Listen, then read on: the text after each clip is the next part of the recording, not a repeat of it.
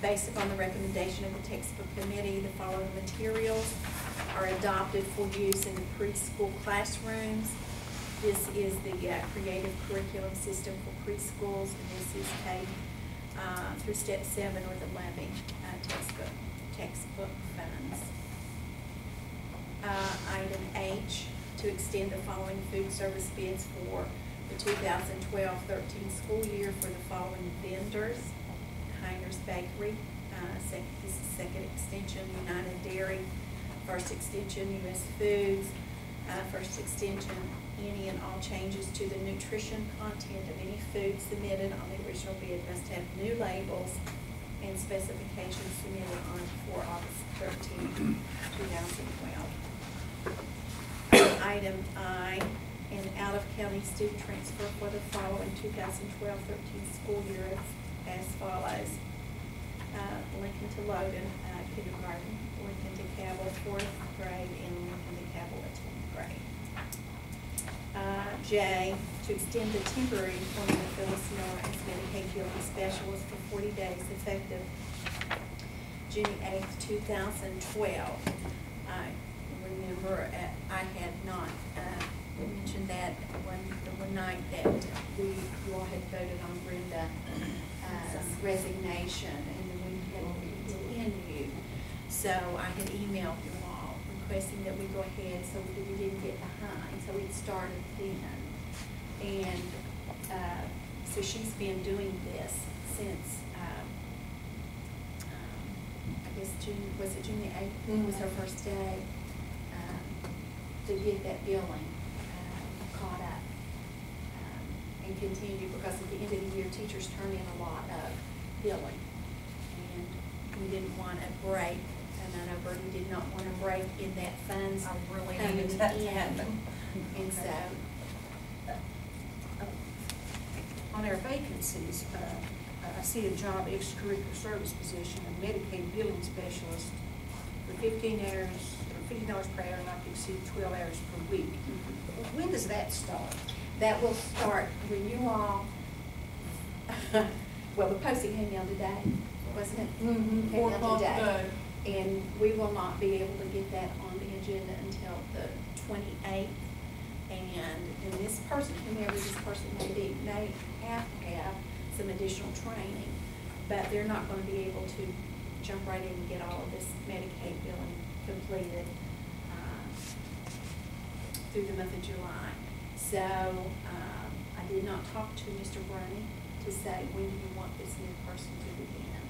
Um, and I would suspect it would not be until in July sometime. Okay.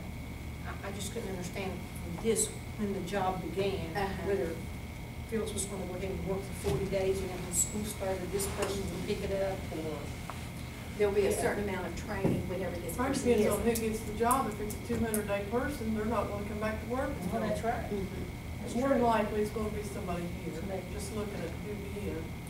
It's a little confusing because it's still stating school year eleven, twelve, I think did that's it? just a typo.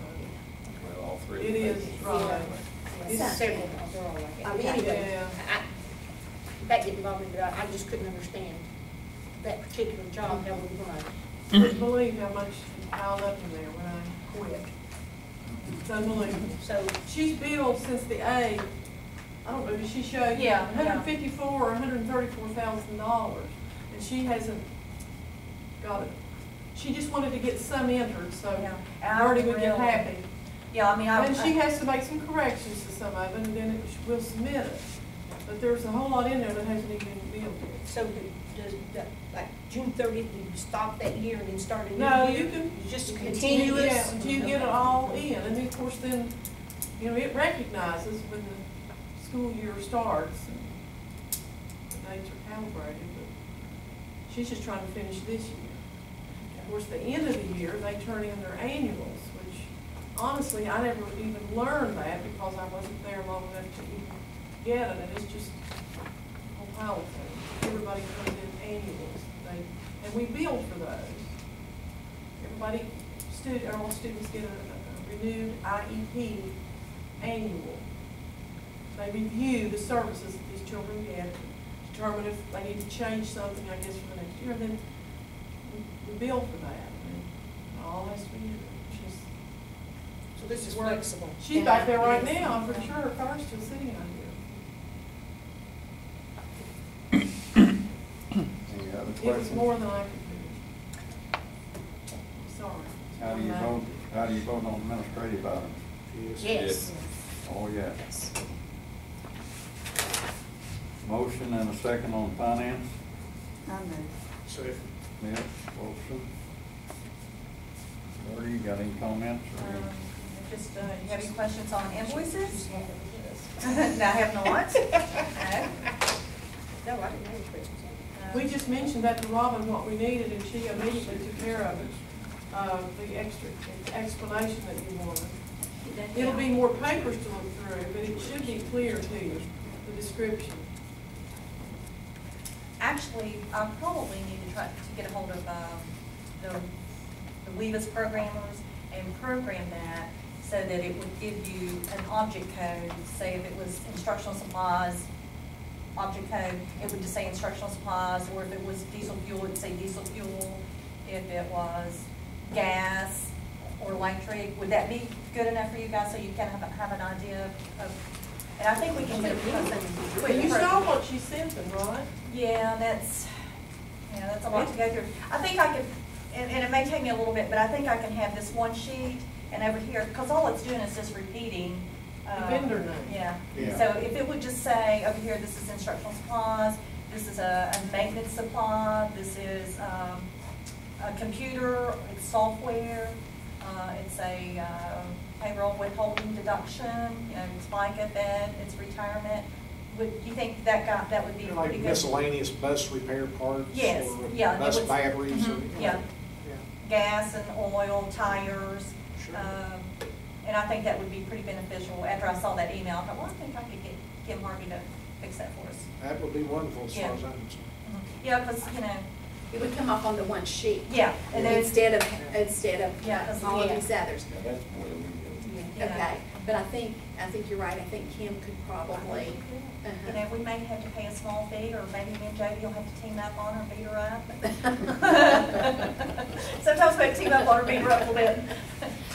Like She's Ms. pretty good. Yeah, like Ms. Ms. Willis brought out there, uh, that, where the description says the same thing as the Yeah, vendor. it's just- Told you nothing. Yeah, Problem It's is, just if- worthless, really. It- it This- really This would be is. great, what Yeah, you're it really proposing is there would really worthless. be great. If you could learn all the vendors, but it takes a long time to go through Mhm. those vendors and try to remember who they are. Well, yeah. you know. And you know, a lot of them I don't even know, because I don't see most of this stuff, you know? Um, But I, you know, like on this, this one page, I can look and I know that's all payroll vendors at three hundred and seventy thousand dollars. The, the printout, I know that's all payroll related. This would probably eliminate a lot of questions, you know, during Mm-hmm. the meeting, I would think. I, I think it would be really good if we would just do the object codes, and I know it can be with just a few little programming, um, uh, tweaks, I think it can be done. Very How do you vote on the finance? Yes. Oh, yes. Personnel, do I have a motion and a second? good. Wilkerson, So, Martin, forgot your name. Just call me anyway. So you call me to dinner. um, as you can see, this is, uh, quite, uh, short.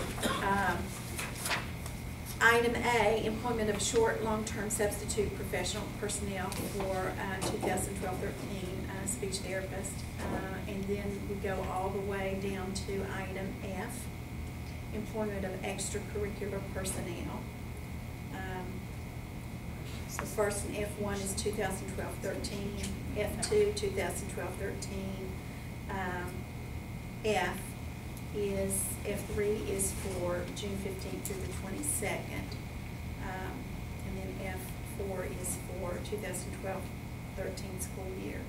And then we have some retirements and resignations in, um, item G. And it's designated as to which it is at the end uh, of the dates. Questions?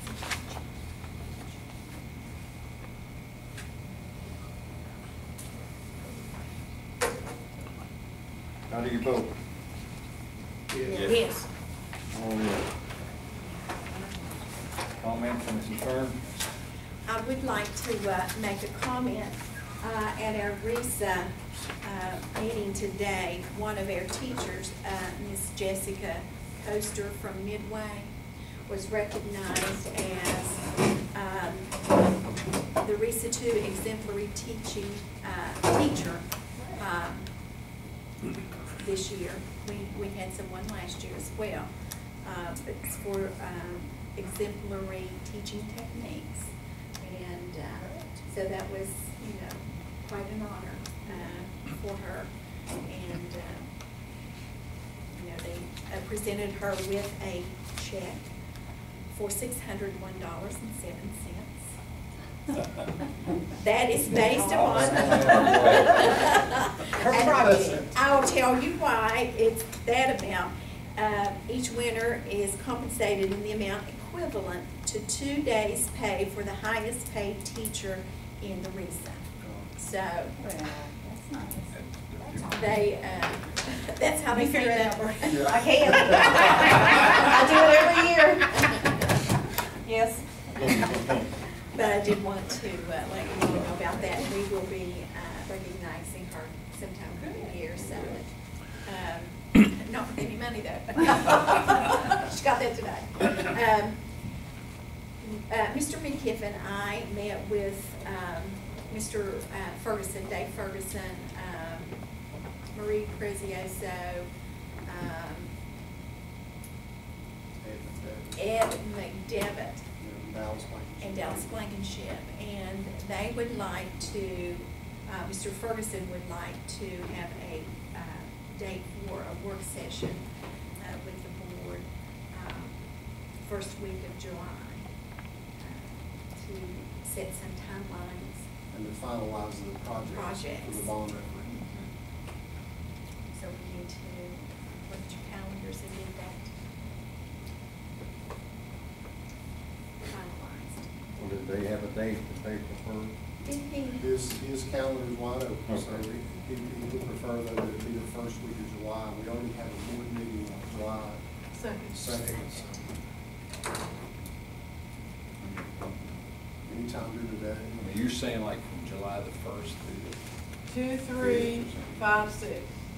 the, at, actually, Two, three, five, six. You have a regular meeting on the second, the fourth is of course a holiday. So Monday, Tuesday, Thursday, Friday. So we're having a meeting on Monday. Yeah, we have to meet that day to organize your year.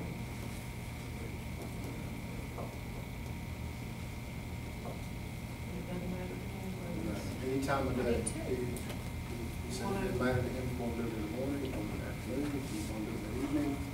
Mr. McAllister told me he was available through the days, and I can't really speak for him right now, but he told me that daytime meetings weren't gonna be a problem for him, so. I guess this group will have to set the date and time.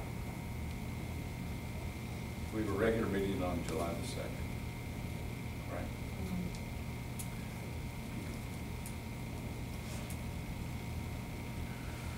For one day over another, is anybody going out of town for the I won't be here at all? at all. I won't come back until the eleventh.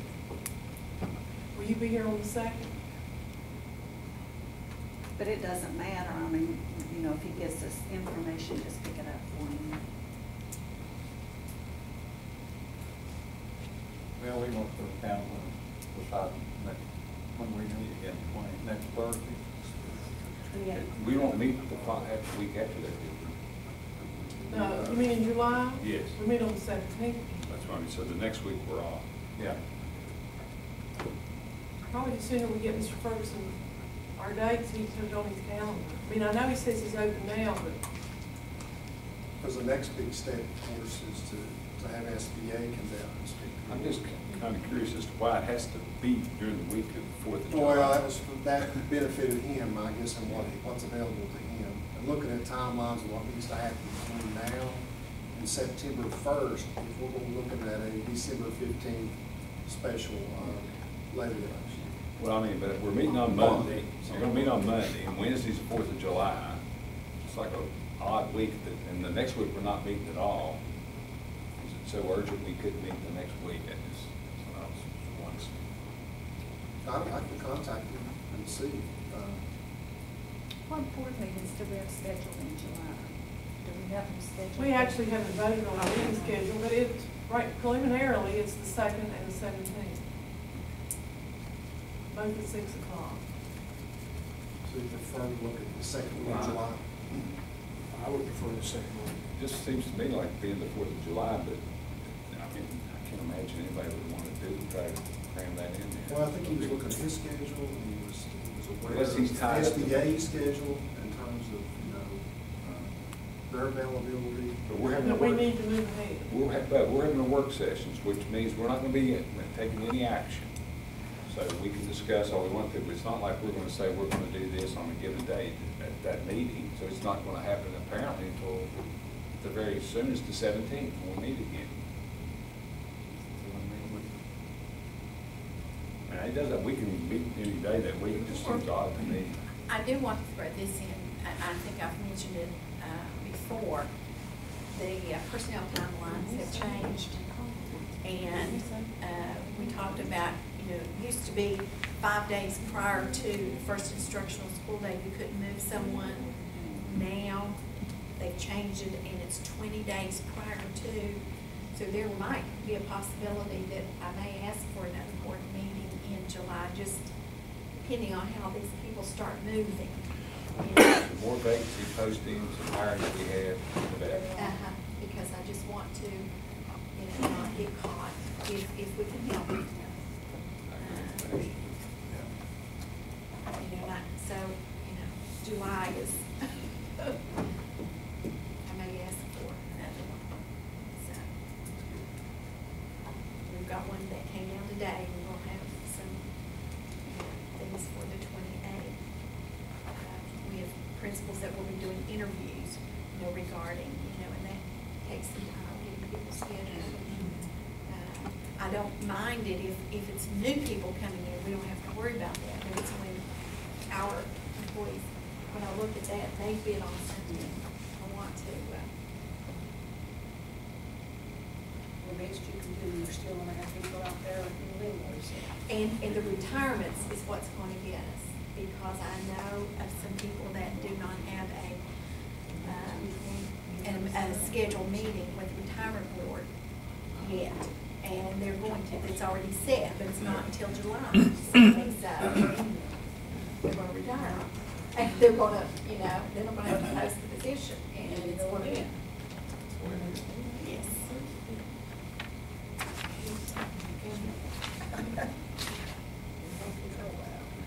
Well, do we want to try to meet with them on, in the first week of July or what? And I'll contact him and see if he's, if he's available the second week and then send you, an email. Yeah, that'd be fine. Is that If okay? not, we could pick one of these other days, right? Yeah.